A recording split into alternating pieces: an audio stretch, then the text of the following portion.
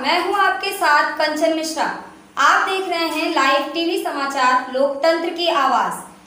वक्त हो चला है आज की ताज़ा खबरों का। आइए शुरू करते हैं आज की ताज़ा खबर। ग्राम पंचायत दादरी प्रखंड नानपुर जिला सीतामढ़ी सुमन कुमार दास, भावी उम्मीदवार पंचायत समिति के उम्मीदवार सुमन कुमार दास जी का कहना है कि मैं अपने पंचायत को स्वच्छ निर्मल बनाऊँगा और पंचायत के मतदाता मालिक और जनता के सुख दुख का साथी बनूँगा। सुमन कुमार दास का कहना है कि आधार मतदाता मालिक मुझे एक बार सेवा का मौका दें। सुमन कुमार दास का कहना है कि मेरी मुद्दा शिक्षा है, विकास है स्वास्थ्य मेरे पंचायत के काफ़ी गरीब परिवार के बच्चे हैं और अगर मुझे एक बार सेवा का मौका जनता दे तो मैं गरीब के जितने भी छोटे बच्चे हैं, मैं उसे शिक्षा दिलाने का काम करूँगा। साथ ही मैं स्वास्थ्य और विकास भी करूँगा। मैं अपने पंचायत से भ्रष्टाचार खत्म करूँगा। मैं किसी पद पर ना रहते हुए भी जनता की सेवा निस्वार्थ भाव से करता था। किसी का राशन कार्ड हो या कार्ड हो या अन्य प्रकार का कोई भी सेवा हो, मैं खुद दिलवा था। सुमन कुमार दास हाथ जोड़कर मतदाता मालिक से अनुरोध करते हैं कि एक बार अपने बेटे और अपने लाल पर भरोसा करें। लाइव टीवी समाचार के लिए संवाददाता राजीव कुमार की रिपोर्ट। अपना परिचय दीजिएगा।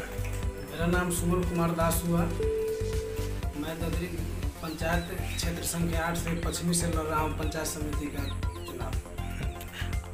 अचानक आपके दिल में समाज सेवा करने का ख्याल कैसे आया? समाज सेवा करने का मुझे शुरू से आदत है। मैं 2011 में अति पिछड़ा सीट था तो उस पर मैं मुखिया का प्रत्याशी बने।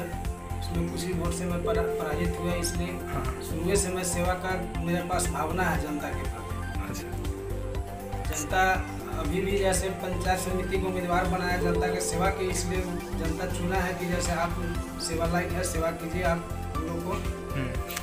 आप उसका बनता है आपका करने का? मतलब जनता ही आपको मतलब उम्मीदवार के लिए खड़ा किए हैं कि नहीं आप खड़ा होइए आप रहिएगा तो मुझे सपोर्ट मिलेगा। ऐसे इससे पहले आप समाज के लिए क्या क्या किए हैं? बहुत कुछ किए आधार कार्ड बनवा दिए जातीयवासी बनवा दिए मतलब छोटा मोटा जो भी रहता था कार्य आप अपने जनता के लिए करते थे? बहुत स्टूडेंट के लिए बहुत सारा सरकारी योजना भी का लाभ दिवा दिए जो सरकार का योजना भी चल रहा है बहुत सारा योजना उस योजना का लाभ दिवाया है अभी दिवाते भी हैं अभी भी। अच्छा और कहना ये है कि अगर आप उम्मीदवार अगर आप जीत गए तो आप अपने पंचायत के लिए सबसे पहले कार्य कौन से कीजिएगा? सबसे पहले तो मुद्दा शिक्षा का है सर। शिक्षा का पर विशेष ध्यान देना है। हम्म, शिक्षा ही सबसे बहुत ज़रूरी है। शिक्षा? जी। जी। तो शिक्षा के लिए आप क्या क्या कीजिएगा? शिक्षा के लिए क्या करेंगे? स्कूल का सही ढंग से देखेंगे विद्यार्थी का आह्वान करेंगे कि स्कूल जाए स्कूल का देख करेंगे किस आधार से पढ़ाई लिखाई होती है उस पर भी ध्यान देंगे विशेष। मतलब शिक्षा मूल्य है। जी जी बाकी बाद में। ठीक है। जनता से क्या अनुरोध करना चाह रहे हैं? जनता से मैं अनुरोध करना चाह रहा हूँ जो उसका उम्मीद है उस उम्मीद पर मैं खड़ा उतरूँगा। जी। जनता की जो भी सेवा हो मैं तत्पर सेवा करने के लिए मैं तैयार रहूँ मैं युवा कैंडिडेट हूँ।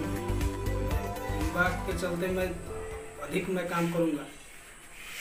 मतलब आप शिक्षित हैं युवा हैं और आप जनता से अनुरोध कर रहे हैं कि एक बार आपको मौका दिया जाए। जी जी अवश्य मौका जनता दे रहे हैं तो देंगे तो उस पर मैं अवश्य खड़ा उतरूँगा। उस कार्य उनकी उम्मीद पर खड़ा उतरेगा उम्मीद पर खड़ा ज़रूर जनता से अनुरोध कर रहे हैं। जनता से अनुरोध करता हूँ। वक्त हो चला है एक छोटे से ब्रेक का। ब्रेक के बाद हम फिर हाजिर होते हैं ऐसी ही तमाम खबरों के साथ। तब तक के लिए आप हमारे साथ बने रहें।